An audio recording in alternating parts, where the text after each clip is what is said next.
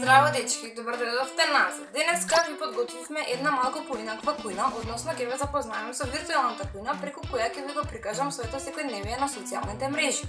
Секоја кујна си има своја тајна, па така нашата тајна е музиката. Затоа ќе ве запознавам со првата апликација Накси Радио, преку која сега ќе пуштиме музика, која што ќе ни биде придружник во ова наше видео.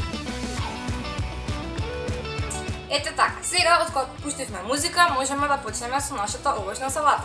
Како прва состојка ќе ставиме праската, а праската мене ме подсеќа на апликацијата Moodle преку која ги следам своите предавања и ги прекачувам своите вежби на факултет. После тоа, ќе ве запознам со уште една апликација која што се вика Duolingo, која што мене ми, ми го помуваше слободното време за време на карантинот, каде што ми помогна во изучување на странски јазици, а затоа го додаваме јаболкото. А, слична апликација на Duolingo-то, која што помага во изучување на јазиците, како и во утврдување на стекнатите знаења кои се поврзани со јазиците, е лингвадото, а затоа на нашата салата ќе додадеме модра слива, која што ни го представува логото на лингвадото. А, иако социјалните мрежи ги користам многу, сепак за себе можам да кажам дека сум личност која што се гледа во свет без социјални мрежи, која што може да обстои во едно такво општество. Следната состојка е малината, а малината мене ме подсеќа на Инстаграм. Инстаграм верувам дека ви е многу добро позната апликација и дека скоро голем дел од вас ја користат.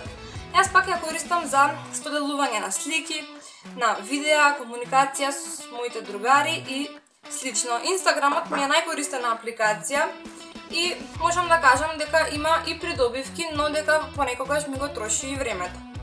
Понатаму продолжуваме со исто така уште една позната апликација, односно Фейсбукот.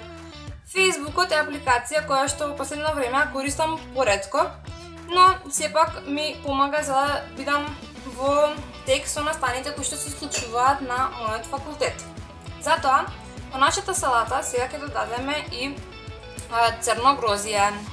Како последна состојка со која што сакам да завршиме нашата салата, а воедно и последната апликација со која што сакам да ви го представам моето секојдневие е апликацијата YouTube, па затоа нашата салата ќе ја завршиме со шлаки јагоди, кои се всушност логото на YouTube-от. YouTube-от најчесто го користам за гледање на видеа, за следење на некој од елитата, како и за гледање на видеа кои што ми помагаат да се надоградам и да ги надоградам своите знаења за на факултет. Воедно сакам да ви кажам дека А, како што напоменав, апликациите можат да бидат трошење на времето, но од нив може да имате и прилично едукативна полза. Па се надевам дека ќе го изберете подобриот пат и дека и покрај тоа што тие ни го пополнуваат нашето време, ќе успеете да извлечете нешто полезно од нив.